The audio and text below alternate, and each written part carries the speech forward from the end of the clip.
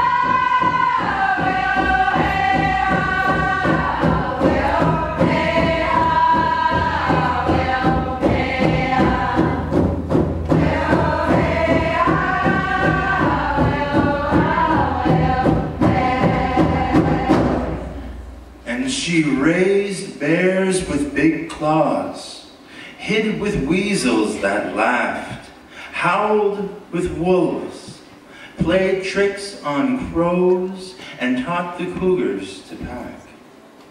And she would one day pluck from the vine her very own berries. And she saved those berries. And she would rise above terrible fires, whirling tornadoes, and ripping hurricanes. And she would dive deep into rivers that ran too fast.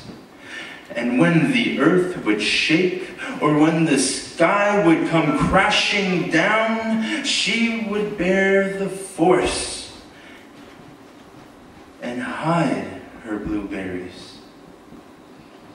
pocket of her apron. She flew. And so was her dance of power and of strength.